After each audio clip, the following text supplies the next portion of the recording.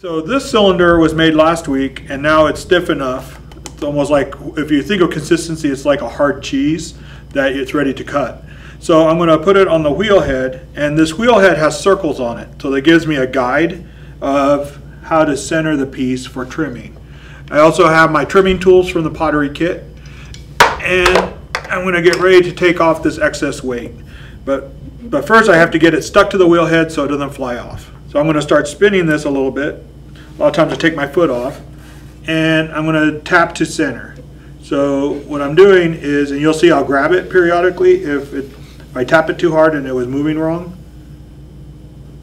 And I'm tapping it to center it. I'm ignoring the top because that's more uncentered right now. I'm dealing with the body of the piece. So I'm going to put my balls of clay to hold it in place tripodally in a triangle. So in thirds. So there's one, there's a second. And sometimes if they don't want to stick, um, I'll get them wet with a little bit of water on the edge and, to touch the pot. And sometimes I put the balls of clay a little bit higher. I'm going to tempt fate by staying low, just, just so you can see this better. So right here, I'm looking and looking here and here and here. So there's the third part of my triangle. So making sure that these are on there and ready to not slide. Okay. So now that I have it on there, I'm going to tap it and listen for thickness. So, and I can do that with the, with the wheel spinning or off. So here it, it's thin. Right there it's thicker. The sound is distinctively, so there's more clay right here. There's more clay right there. And it's thinner right here. Okay. So it gives me a guide of what I need to take off. Now, for a cylinder foot, I don't do a traditional foot ring like I do with bowls um, because I want, I usually keep this a flat surface. So for your very first cylinders, you just want to practice taking some of the weight off and cleaning up the, the piece. So I'm going to start by pushing down. I'm locking my body. I don't want the tool to rock. So I do this. And I'm just going to flatten the bottom. So I start in the center and work my way out. And don't dig this way. I'm trying to stay straight. On there. I use my finger to smooth it out. Okay. Now I'm going to go ahead and take off the excess weight. I'm going to put this at an angle. Hold it tightly. And the first cut, because if I didn't take this off the wheel head correctly, it might be have chunks on the side. So I want to make sure any chunks are removed that way it doesn't fly off when I hit one and it bounces. So,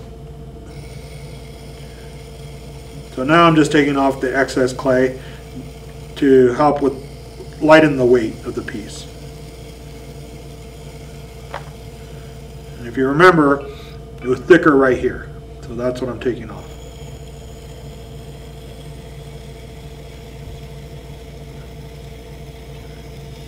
And you can see it just hopped.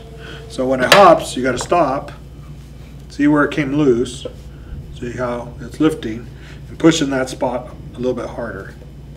And that's one of the issues with uh, taller pieces trimming this way, they like to move.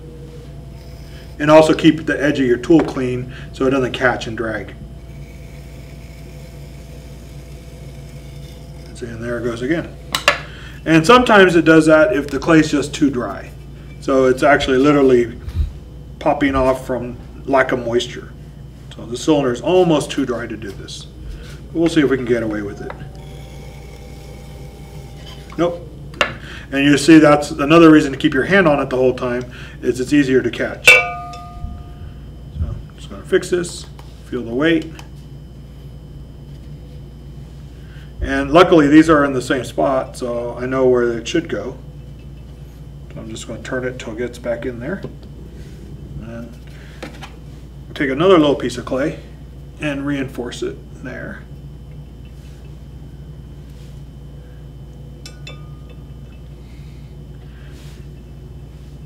And it just takes practice. And when you guys probably have new tools in your from your kit, so the newer tools are really sharp.